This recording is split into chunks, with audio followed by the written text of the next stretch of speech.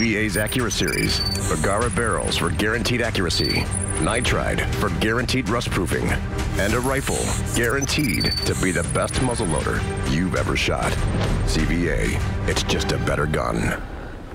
This segment's been sponsored by our friends over at Soul Shine Pizza. They're at 4021 Hughes Crossing.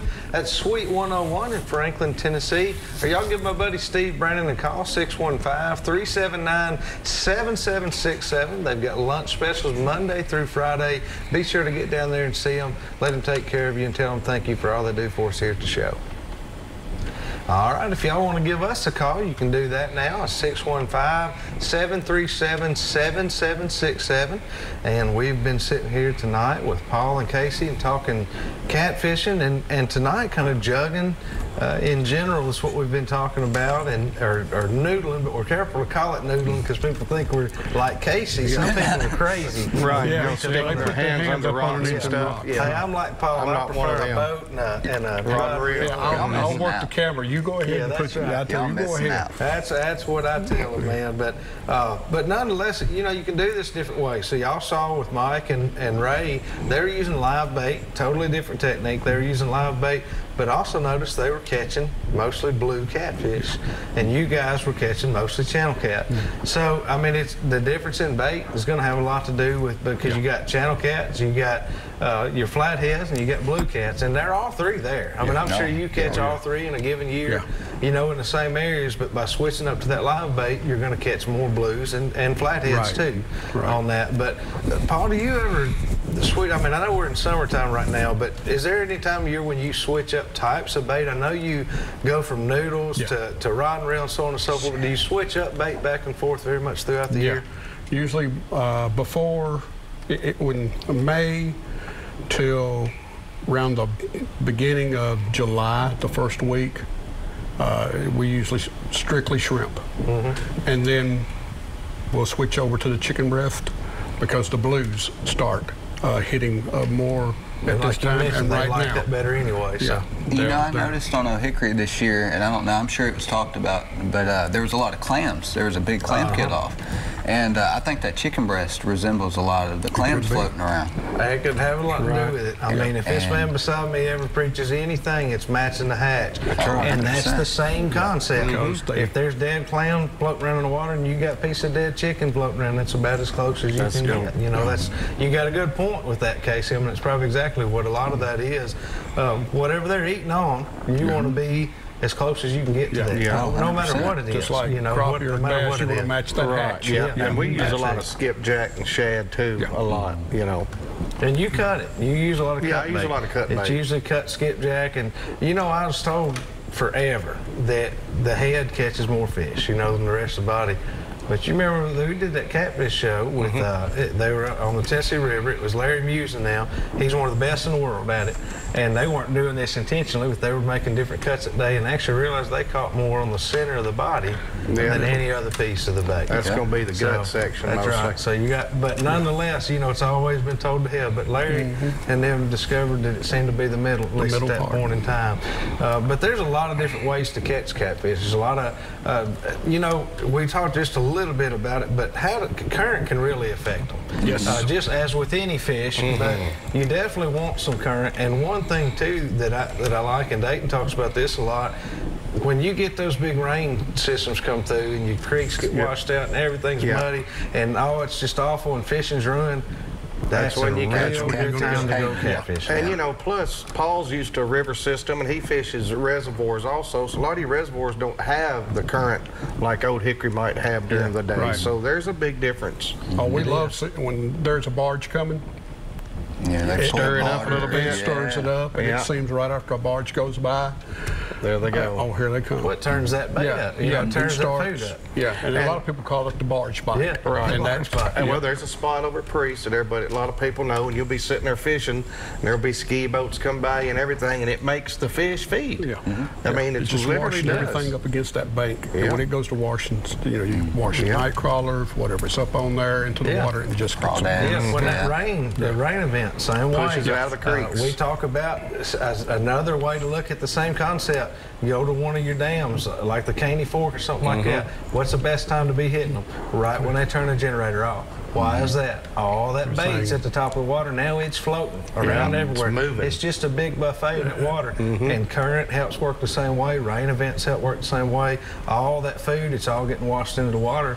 And now it's all floating around everywhere. And these mm-hmm. catfish are just, I mean, they're going Roaming, crazy. yeah. Yeah, they're just going crazy eating. And they're not using their eyes near as much as a lot of your, you know, like a crappie or something. You know, he relies on his eyes a lot more. A catfish don't need it. It don't matter how muddy it is. Those He's got those- whiskers. Yeah. Those He's old got whiskers. taste buds all over his body. Yeah. And yeah, he, He does. Now, He'll find Find it. it. Paul, let's start talking about taste. You typically just fry them like what we normally hear about. You got any good catfish recipes to we share just with? uh, take them and uh, usually when I catch my fish, we'll clean them uh, right at the end of the day at the boat, and uh, we'll take the fillets and put them on ice. When I get home, I will put them in uh, salt water and put them in the refrigerator uh, for at least two hours, and then I will freeze them, you know, with water. Uh, and some people use milk jugs, you know, fill them up with the fillets in because it keeps them, uh, that the cardboard carton uh, keeps them from being freezer bur- burnt. Plus, the water bit around them keeps them from getting Yeah. freezer burnt. But I will do that, and then uh, just basically peanut oil and some good batter.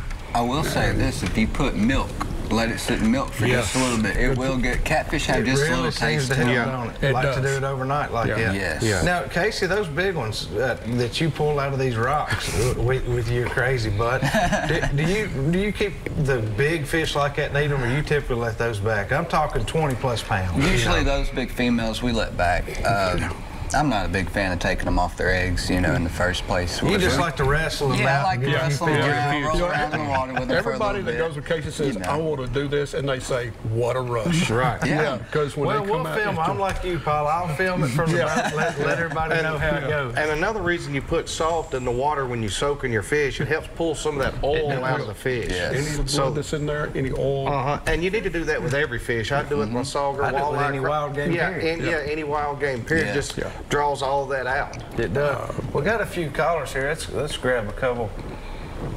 Mike, how you doing tonight?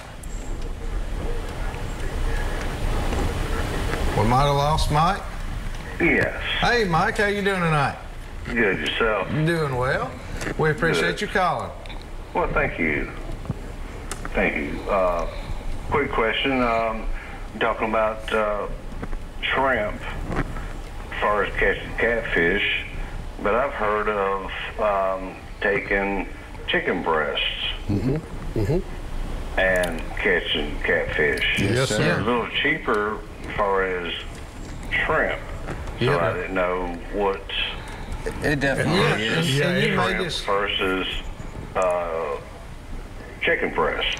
Yeah, chicken breast. Uh, of course, you can get those in the store. A lot of them are marked down to three or four dollars for three or four Yeah, you can get the cheap stuff. Catfish don't and care to- A lot of your uh, Tennessee River fishermen, Mm-hmm. my, uh, was it David Sims? That's what he uses. And I tell you what, right now is when you want to use that chicken Yeah, breast. And you may have missed earlier, Mike, but uh, Paul actually spoke directly about chicken breast earlier, and uh, it is one of his preferred baits, Yes, especially yes. for blue catfish. yeah, it's, it's a And I'll tell you something else that's unbelievable is marshmallows. Marshmallows. Marshmallows. You- Really? yes, you take the little flavored marshmallows because they dissolve slowly in the water. They'll stay on that hook and dissolve, and they will eat those flavored marshmallows. Oh, there we go. Mar- marshmallow sales just went up all over There you Middle. Tennessee. I like you could catch a catfish on dang near anything. Yeah, absolutely. I mean, And I Yes, used to, uh, absolutely. I used to actually work at a bait shop Oh, in that's neat. Hendersonville. And in that bait shop, we had a commercial fisherman come in all the time. He actually owned the old bait shop in Hendersonville, and uh, God rest him, he just passed. And uh, he he used to tell me he'd catch them off of uh, Dove soap. Uh, He would use cheese, a Mm-hmm. Yeah, block cheese- of cheese, cheese and he would good. put these big crates out, you know, and that's how he supplied, you know. if And he it made stinks or way. tastes or smell, you know, whatever, Yeah. catfish will eat it. Yeah. Hundred percent. Okay. It is. Yeah. But yeah, absolutely. Use that chicken breast. Paul Paul loves it. And he still Mm-hmm. puts the Kool-Aid in there, mixes it with Kool-Aid. Yeah, get it blood Yeah, red. that's what I was talking about a while ago. Right. Yep. He Yep. definitely does. Brother, help. get out there and get you some. Okay. Well, thank Yeah. you. Good luck to you. We Good appreciate luck. you calling tonight. All right. All right. Thank you very much. Have a good night. Uh-huh. Yeah, you know they use that chicken breast to catch them alligators too. Mm-hmm. You know down there, it's, it's Yeah. Well, they, yeah, all you- the they do. people. They Yeah, but they it. let them lay out for three weeks and they've got everything. Yeah. Yeah. Yeah, all Yeah. that. The Like guys a that buzzard noodle cube. and want to know if they can make a noodle big enough to handle them alligators. No I don't know unless you put three or four of them together because you know if Man, they'd they're have to gonna- have a heck of a sink. noodle to be able to do that. because they're going to sink after they shoot them. Right. But I'm like, I've seen. I don't know Hey, if they they, might shoot could come up with something like think that. You they, never know. when they shoot them with a bow, don't they got to drag a jug with them? I thought. I believe so. Oh, I don't know much about it. That's what I'm think, saying. I think that's how they keep it. It's up actually a lot more regulated than people would think the Right. alligators are. It's, it's very regulated anyway. Um, but you know, to come up with a noodle or something like that, it would have to be very heavy duty. But I, you know, uh, them guys they could probably come up with it. They've been trying to Uh, work on it. I mean, granted, a big catfish and a ten foot alligator is two different things. you know, Yeah. I mean, those catfish totally yeah, they're different pretty a but shaker and a it. A big. shaker and a tree Yeah. shaker is Yeah, two different two things. different You know why them alligators are ornery, right? You know, but they, it's, but yeah, truth is, they I guess they could always give it a shot. You never know, but they use that stuff. Casey just about looked like one of them alligator guys up there on the front fighting that big catfish. Yeah. It's kind of funny. Hey, Did you see live how his action. hair was blowing in the Yeah. wind? Mine don't do that. You don't, don't have that problem. I don't have that problem. Well, guys, we're gonna get ready to take a quick break. We'll be right back with some more Southern Woods and Waters.